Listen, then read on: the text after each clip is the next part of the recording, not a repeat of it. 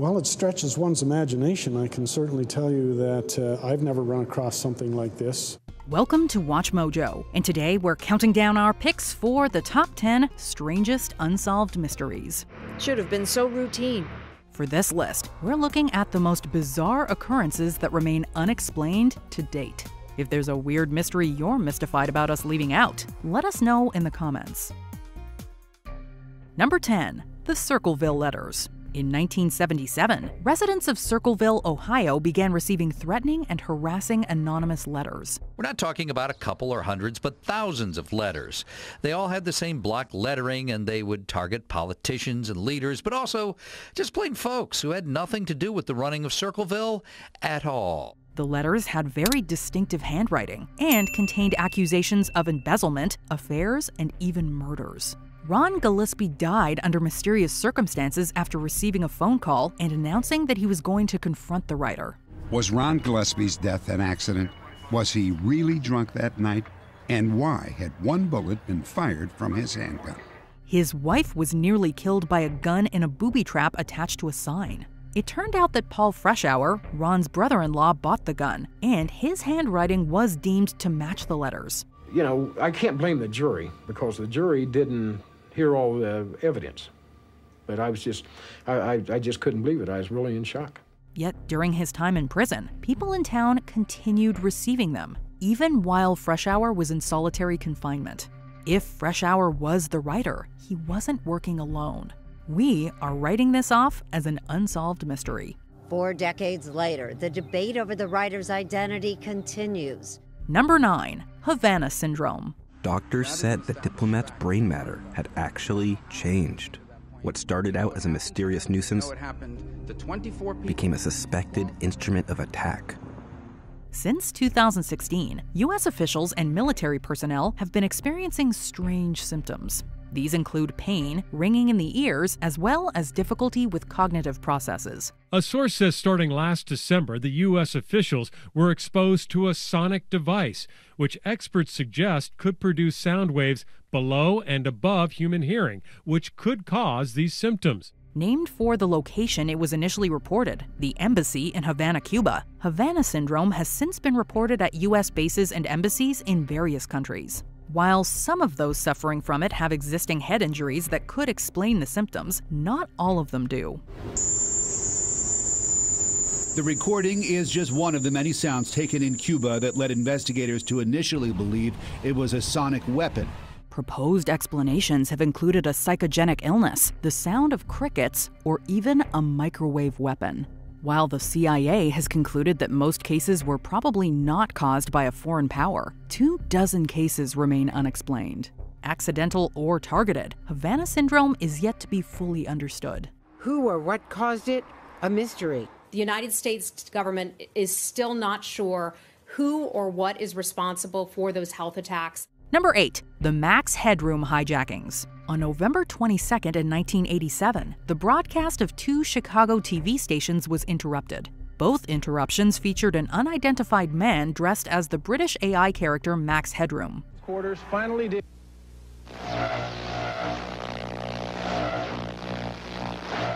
The masked man disparaged the local station he was interrupting, made several pop culture references, and got spanked by a fly swatter. The heavily distorted audio, rotating background, and masked men gave the hijackings an eerie, almost David Lynchian feel. My brother is wearing the other one, but it's dirty.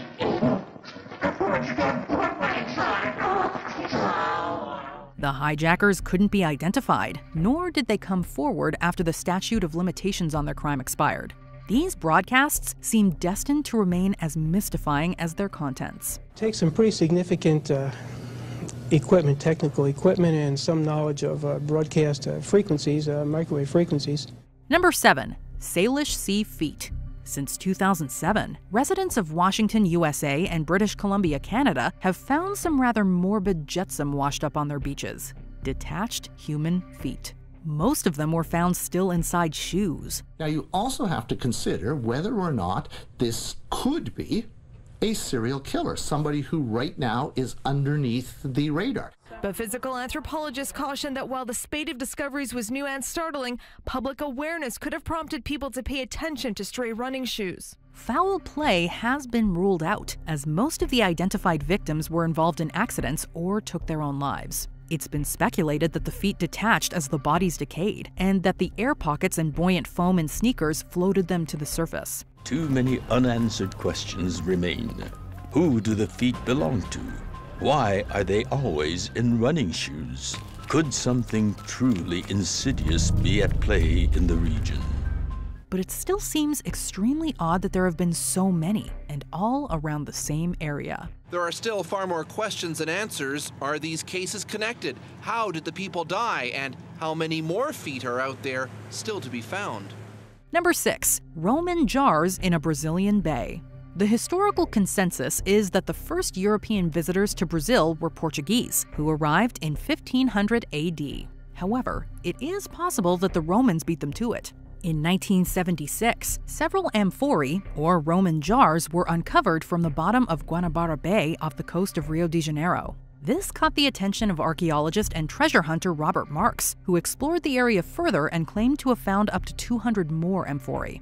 Experts dated fragments to around the 3rd century. However, the idea that Romans arrived before the Portuguese deeply upset many Brazilians, and the government banned underwater exploration so the depths of this mystery remain unknown. Number 5. Gloria Ramirez's death. While suffering from cervical cancer, Gloria Ramirez was admitted to an emergency room in California in 1994. While treating her, the medical personnel noticed odd symptoms, including a greasy polish to her skin, a strange odor from her mouth, and oddly shaped particles in her blood. Then, several of the people in the room began passing out.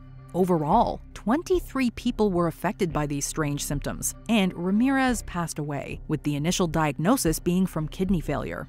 The most common suggestion for Ramirez's apparent toxicity was that she was taking dimethyl sulfoxide, a home pain treatment, which, combined with several of the treatments, turned into an acidic substance. Another suggestion is exposure to methylamine, but no one knows for sure.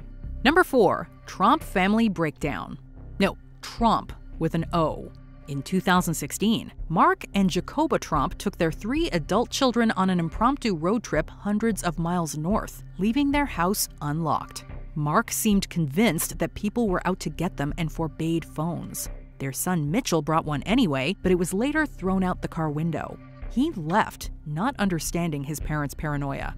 Later, the daughters left too, stealing a car before splitting up. One, Rihanna, was found in a catatonic state. Ultimately, all returned safely, but no explanation has been given specifically for what happened. Whether it was shared psychosis or someone was out to get the Tromps, the case has fascinated the world ever since. I thought at first that Trump had gone missing. I, thought, I saw that, I went, Trump's gone missing. I went, yeah. well, there you go. No. Speaking of delusion. Yeah, exactly. All right. Number three, Oakville Blobs. In 1994, Oakville, Washington experienced perhaps the strangest weather phenomenon of the last few decades. It rained blobs. Strange goo fell from the sky over a period of several weeks, blanketing the town in ooze. And it made people sick. I got sick, my wife got sick, my daughter. What's even more bizarre is that the residents experienced a widespread illness that lasted for several weeks, too. So, what could this goo have been? Someone uh, theorized that since the Navy had been conducting live bombing runs at sea, they might have blown up a school of jellyfish. And of course, this jellyfish would have been thrown up into the air um, and floated 50 miles inland, and over a period of three weeks, fallen six times. Was it evaporated bits of jellyfish that reformed in a cloud? Or maybe waste from an airplane? The most troubling theory is that the event was a military experiment on U.S. soil. Translation Germ warfare. There are a whole mess of theories about this messy and weird weather. Number two, the disappearance of Malaysian Airlines Flight 370. Families waiting for MH370. They still wait and really they don't know much more than they did that first awful morning. On March 8, 2014, Malaysian Airlines Flight 370 vanished while flying from Malaysia to China. After a loss of communications and its disappearance from civilian radar, Flight 370 reappeared on military radar, having deviated from its planned flight path. Approaching the point at which Malaysian Air Traffic Control will hand over to Vietnam. Then, Captain Zaharie makes a last, routine, but now infamous radio transmission. Good night. Good night, Malaysia. The disappearance has fascinated the public for years and led to several expensive searches. It seemed impossible for an entire airplane to just go missing in an age where everything can be seen by satellites. Although a few pieces have washed ashore, the bulk of the aircraft and the reason for its deviation remain unclear. What happened to the flight has haunted the world ever since. We're not used to planes just disappearing. If they come down, we expect to be able to find out why. Speculations have run the gamut from a hijacking to being shot down to some kind of equipment failure. Before we continue, be sure to subscribe to our channel and ring the bell to get notified about our latest videos. You have the option to be notified for occasional videos or all of them. If you're on your phone, make sure you go into your settings and switch on notifications.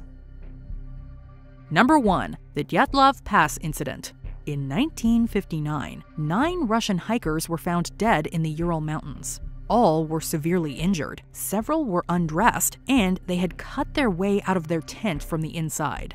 Some were burned, and others slightly radioactive. Most seem to have died of hypothermia or their injuries. The case has baffled the public and authorities for over half a century. Theories include an avalanche, an animal attack, or military involvement. This is the last photo taken by the hikers before they died.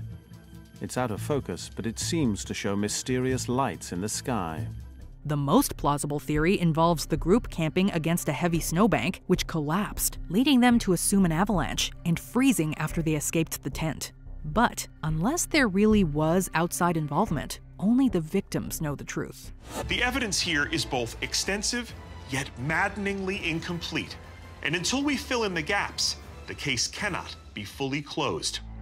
Do you agree with our picks? Check out this other recent clip from WatchMojo, and be sure to subscribe and ring the bell to be notified about our latest videos.